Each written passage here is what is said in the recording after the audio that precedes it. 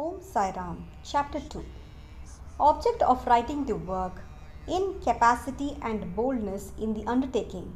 Hot discussion conferring significant and prophetic title of Pant, Necessity of a Guru. In the last chapter, the author mentioned in the original Marathi book that he would state the reason that led him to undertake the work and about the persons qualified to read the same and such other points. Now, in this chapter, he narrates the same. The object of writing this work. In the first chapter, I described Sai Baba's miracle of checking and destroying the cholera epidemic by grinding wheat and throwing the flour on the outskirts of the village. I heard other miracles of Sai Baba to my great delight, and this delight burst forth into this poetic work. I also thought that the description of these miracles of Sai Baba would be interesting and instructive to his devotees and would remove their sins, and so I began to write the sacred life and teachings of Sai Baba. The life of the saint is neither logical nor dialectical. It shows us the true and great path. Incapacity and boldness in undertaking the work. Hemad Pant thought that he was not a fit person to undertake the work he said, I do not know the life of my intimate friend, nor do I know my own mind. Then, how can I write the life of a saint or describe the nature of incarnations which even the Vedas were unable to do? One must be a saint himself before he could know other saints, otherwise, how can I describe their glory? To write the life of a saint is most difficult one may as well be able to measure the depth of the seven seas or enclose the sky with cloth trappings.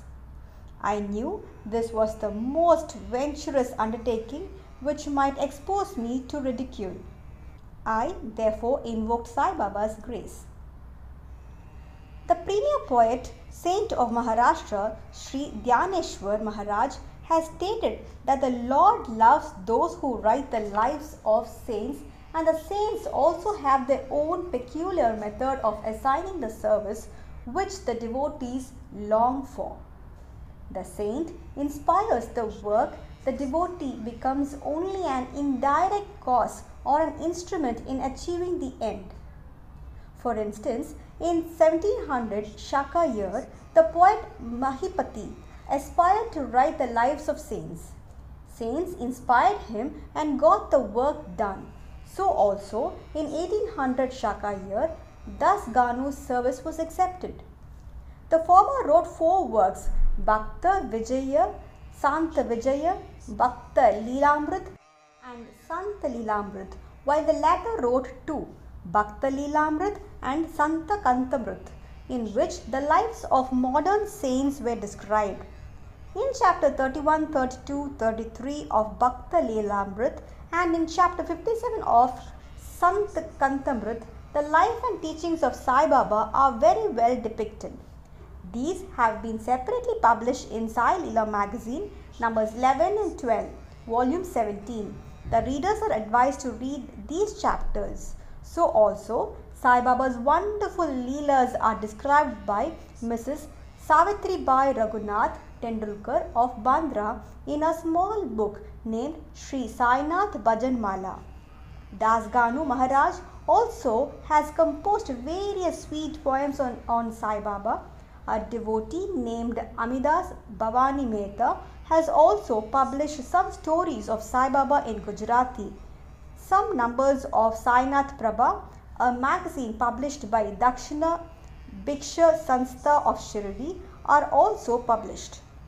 Then the question of objection comes in that while so many works regarding Sai Baba are extant, why should this Sai Satcharitra be written and where is its necessity? The answer is plain and simple. The life of Sai Baba is as wide and deep as the infinite ocean, and all can dive deep into the same and take out precious gems of knowledge and bhakti and distribute them among the aspiring people. The stories, parables, and teachings of Sai Baba are very wonderful. They will give peace and happiness to the people who are afflicted with sorrows and heavily loaded with miseries of this worldly existence, and also bestow knowledge and wisdom both in worldly and in spiritual domains.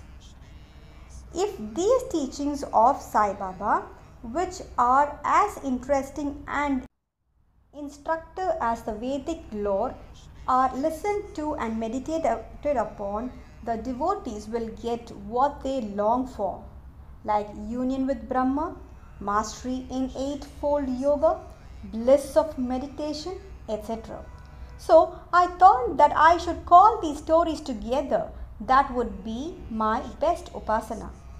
This collection would be most delightful to those simple souls whose eyes are not blessed with Sai Baba's darshan. So, I set about collecting Sai Baba's teachings and expressions, the outcome of his boundless self realization. It was Sai Baba who inspired me in this matter. In fact, I surrendered my ego at his feet and thought that my path was clear and that he would make me quite happy here and in the next world. I could not myself ask Sai Baba to give me permission for this work, so I requested Mr. Madhavrao Deshpande Alai Shama, Baba's most intimate devotee, to speak to him for me. He pleaded my cause and said to Sai Baba, This Anna Sahib wishes to write your biography. Don't say that you are a poor fakir and there is no necessity to write it. But if you agree and help him, he will write, or rather, your grace will accomplish the work. Without your consent and blessings, nothing can be done successfully. When Sai Baba heard this request, he was moved and blessed me by giving me his udi, sacred ash, and placing his boon bestowing hand on my head, said, Let him make a collection of stories and experiences. Keep notes and memos. I will help him. He is only an outward instrument. I should write my autobiography myself and satisfy the wishes of my devotees. He should get rid of his ego, surrender it at my feet. He who acts like this in life, I help him the most. What of my life stories? I serve him in his house in all possible ways. When his ego is completely annihilated and there is left no trace of it, I myself shall enter into him and shall myself write my own life. Hearing my stories and teachings will create faith in devotees' hearts and they will easily get self realization and bliss. Let there be no insistence on establishing one's own view no attempt to refute others' opinions, no discussion of pros and cons of any subject. Significant and prophetic title. The word discussion put me in mind of my promise to explain the story of my getting the title of Hemad Pant and now I begin to relate the same. I was on close friendly terms with Kaka Sahib Dixit and Nana Sahib Chandorkar. They pressed me to go to Shirdi and have Baba's darshan, and I promised them to do so. But something in the meanwhile turned up which prevented me from going to Shirdi. The son of a friend of mine at Lonavala fell ill. My friend tried all possible means, physical and spiritual, but the fever would not abate. At length, he got his guru to sit by the bedside of his son, but this too was of no avail. Hearing this, I thought, what was the utility of the Guru if he could not save my friend's son? If the Guru can't do anything for us, why should I go to Shirdi at all? Thinking this way, I postponed my Shirdi trip. But the inevitable must happen, and it happened in my case as follows. Mr. Nana Sahib Chandorkar, who was a divisional officer was going on tour to Basin. From Tana, he came to Dadar and was waiting for a train bound for Basin. Meanwhile, a Bandra local turned up. He sat in it and came to Bandra and sent for me and took me to task for putting off my Shirdi trip. Nana's argument for my Shirdi trip was convincing and delightful, and so I decided to start for Shirdi the same night. I packed up my luggage and started for Shirdi. I planned to go to Dadar and from there he to catch the train for Manmad and so I booked myself for Dadar and sat in the train. While the train was to start, a Mohammedan came hastily to my compartment and seeing all my paraphernalia asked me where I was bound to. I told him about my plan. He then suggested that I should go straight to Boribunder and not to wait at Dadar as the Manmad mail did not stop at Dadar. If this little miracle or Leela had not happened, I would not have reached Shirdi next day as settled and many doubts would have assailed me. But that was not to be. As fortune favored me, I reached Shirdi the next day before 9 or 10 am. Babu Sahib Kaka Dikshit was waiting for me there.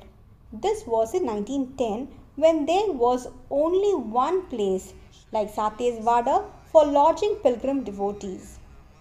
After alighting from the Tanga, I was anxious to have darshan when the great devotee Tatya Sahib Nulkar returned from the masjid and said that Sai Baba was at the corner of the Wada and that I should first get the preliminary darshan and then, after bath, see him at leisure.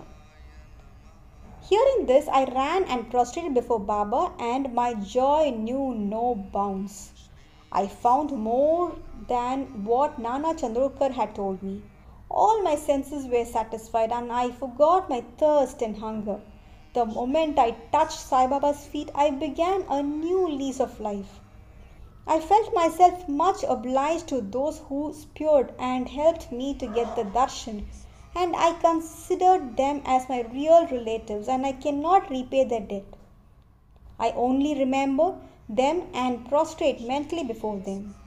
The peculiarity of Sai Baba's darshan, as I found it, is that by his darshan our thoughts are changed the force of previous actions is abated, and gradually non attachment or dispassion towards worldly objects grows up. It is by the merit of actions in many past births that such darshan is got, and if only you see Sai Baba, all the world assumes the form of Sai Baba. Hot discussion. On the first day of my arrival in Shirdi, there was a discussion between me and Bala Sahib Bhate regarding the necessity of a guru. I contended, why should we lose our freedom and submit to others? When we have to do our duty, why a guru is necessary? One must try his best and save himself. What can the guru do to a man who does nothing but sleeps indolently? Thus, I pleaded free will while Mr. Bhate took up the other side like destiny and said, Whatever is bound to happen must happen. Even great men have failed. Man proposes one way, but God disposes the other way. Brush aside your cleverness. Pride or egoism won't help you. This discussion, with all its pros and cons, went on for an hour or so, and as usual, no conclusion was arrived at we had to stop the discussion ultimately as we were exhausted.